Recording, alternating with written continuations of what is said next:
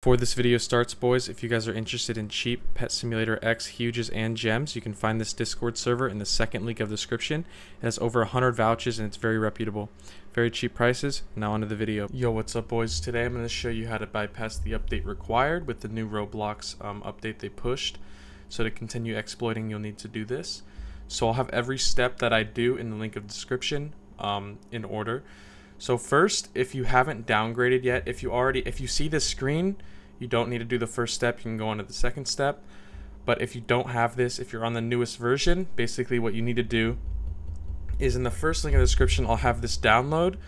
So you'll just, uh, when you download it, you're going to run it and I'll show you what it looks like when you run it. All right, so when you open the file, this is what it's going to look like. If you don't have Roblox installed, it'll just say install or if you need to downgrade you'll just click reinstall. So you'll click reinstall and then you'll have this closed. So we'll just close that. Now right here.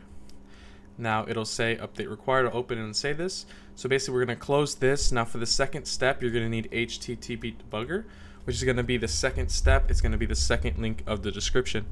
So basically I'll open that. So once you download it you'll have this setup here. You'll just click next accept install my screen's gonna go black it's an administrator thing you'll just click yes.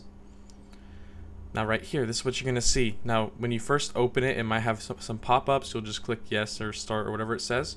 But basically when you have this opened you're gonna want to click www and then you want to reopen Roblox. If you have Roblox already open close it reopen it.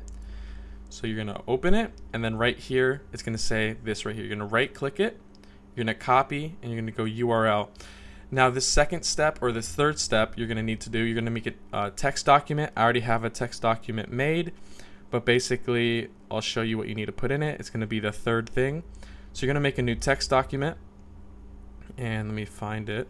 Here we go. Right here, you're going to put this in a text document. You can put it wherever. Just make sure you know where to find it. You're going to put this in. This is going to be in the description. Uh, you'll save it, and once you saved it, you'll close it. And then right here is you're going to click auto reply, add rule with file.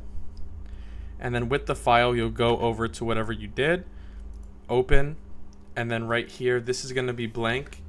But what you're going to want to put is that Roblox thing. So what you copied here, make sure you did URL. You're going to paste it in here.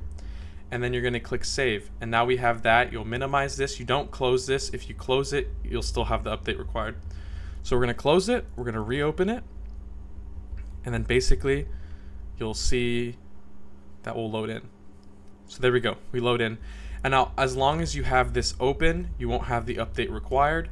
So you'll need to have that. And then now I'll show you um, the last link, I guess, will be um, an executor. I use Fluxus. So to download Fluxus, I'll have the link also in there. All right, and then when you have your Fluxus, you'll just click inject and we'll wait a second. And then once uh, we waited a second after clicking inject. We will just load into a game and you'll know you're injected when it says Fluxus UWP has there we go. So that's when you know it's injected and then you'll just run whatever script you have. This is just an admin command script. So as you can see, now we have admin commands. So that's how you exploit now with the update required. That's how you bypass the update required. And yeah, if you have any questions, uh, leave them in the comments. Every step will be in the description. Make sure you follow it step by step. Don't skip any step. And make sure if you have problems, you watch carefully. But yeah, any questions, leave in the comments. And yeah, thank you guys for watching. Peace.